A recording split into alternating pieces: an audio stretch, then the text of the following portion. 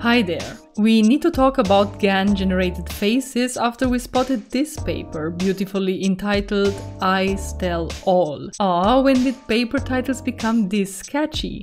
I personally do not have any trouble with making research sexy as long as there is no all you need in titles anymore. As you have already guessed, this paper is highlighting that GAN generated images, at least with StyleGAN 2, do not render the pupil accurately enough and therefore one can build a GAN generated face detector upon this feature. Miss Coffee Bean saw this paper received an enormous amount of attention on Twitter, with reactions ranging from dismissing the importance of this pupil feature, because the next GAN generation will fix this problem anyway, to cases of surprise that GANs did not capture this human feature. So what are the implications of this paper that highlights the pupil feature in particular, and more generally how to tell GAN generated images apart from real ones? This is what we will discuss in this AI coffee break. Hey, do you have your coffee ready? Because now we begin.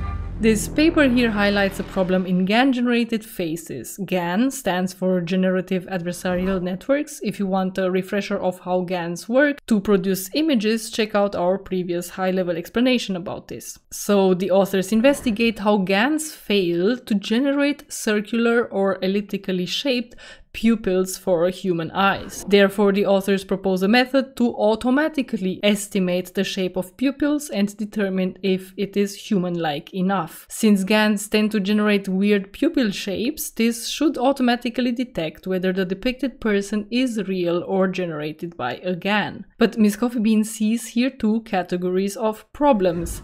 Let's go to problem number one.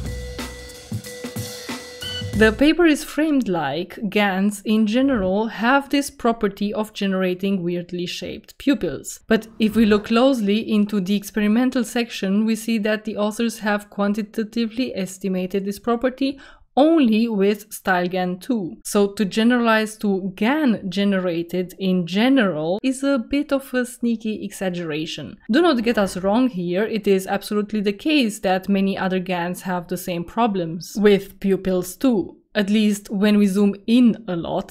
For Miss Coffee Bean, the pupil problem is not even that strong in this case, which is strange because the authors reportedly used exactly the same cool website, thispersondoesnotexist.com, do check it out, to retrieve some StyleGAN 2 generations. In any case, GAN generation quality is not there yet where details are rendered well, just look at the eyebrows and eyelashes too. These little details are easy to overlook if these GAN generated images are used in settings where pictures are not looked at in full detail, for example in bot accounts on social media where the profile picture is so tiny anyway. So understandably, there is need for an automatic bot checker as the authors propose. But the argument of using this pupil detector widely grows weaker because StyleGAN 2 won't be NVIDIA's last generation of GANs ever, and other parties are training powerful GANs too especially since GAN generated face detection is an arms race. Now that the defenders know of this pupil feature, the attackers will do their best to make the right generations in the next version, circumventing automatic GAN generated face detectors. So what we can learn from this paper so far is that when zooming in and looking at the tiny details, we see problems in GAN generations. It's not really news that tiny coherent structure is hard to enforce. Look at the details of hair, everything about the eyes, teeth, or tongue or lips, for example. Miss Coffee Bean, should we write a paper now? lips tell it all? Just kidding. But coherent structure over larger distances is even harder, especially for elements with highest diversity in the images in the training set. We argue that pupils would be the first ones to be fixed in GAN generation, really, because that feature occurs in most of the faces, but structures spanning longer distances in the image that are only exhibited by a subset of the data is far more problematic. Just look at the background that is highly diverse in the training data and should be diverse in the generations too. It seldomly makes sense unless it's uniform, like where is this person even situated? Or look at the ears, for example, which are not often featured both in images because of the lateral angle or hair covering them up. This picture was generated by StyleGAN 2 2 and look how the ear lobes are at different heights. But sure, all these problems are not that easy for automatic detection with handcrafted features like the pupils are.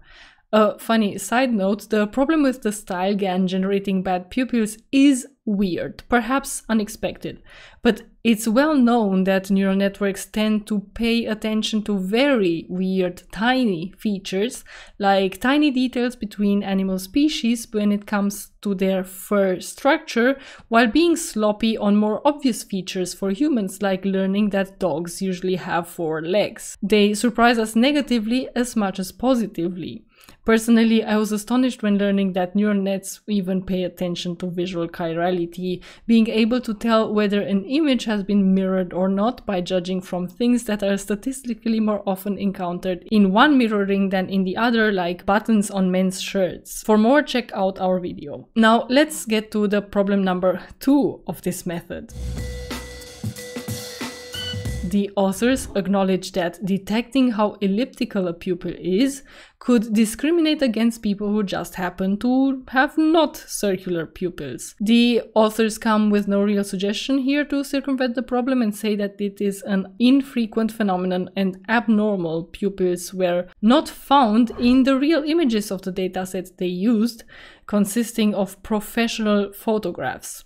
That this dataset doesn't contain any abnormal pupils does not mean anything to Miss Coffee Bean, since this could be due to any kind of selection bias. Therefore, she would like to stress the warning here not to use only an eye pupil normality checker, if at all. Otherwise, imagine people being told, sorry, we don't allow you to create your Tinder account because our anti GAN AI tells us that you have robot shaped pupils. Bye. So, what to conclude? That humans given enough image resolution and knowing where to look for errors can still know if an image is GAN generated or not. But the GAN that is making detection humanly impossible is not really that far away from now, so we need automatic methods that detect those. A method based on strangely shaped pupils is useful for now for StyleGAN 2 and its likes, but is short-lived like so many things in machine learning. What Miss Coffee Bean likes about this paper is that it puts things into perspective for non-machine learning experts. Let us know what you think about the paper in the comments and do not forget to like and subscribe. Okay, bye.